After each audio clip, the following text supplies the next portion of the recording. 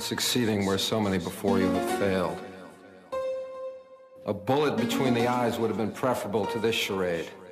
But I've learned to pretend over the past nine years. To pretend that my victories mattered, only to realize that no one was keeping score. To realize that liars do not fear the truth if there are enough liars.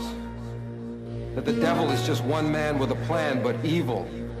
True evil is a collaboration of men, which is what we have here today. If I am a guilty man, my crime is in daring to believe that the truth will out, and that no one lie can live forever. I believe it still. Much as you try to bury it, the truth is out. It's just a name. Is he Illuminati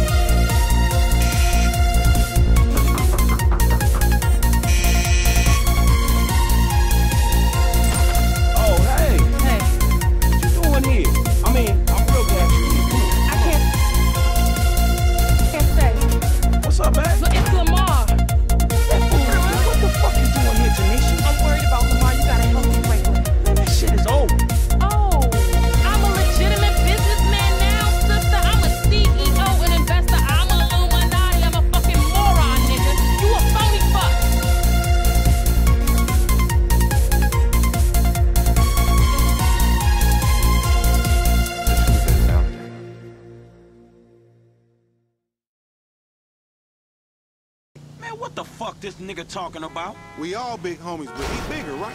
Exactly. Man, that's some fucking pyramid scheme bullshit. Pyramids is good, man. Illuminati pharaoh shit.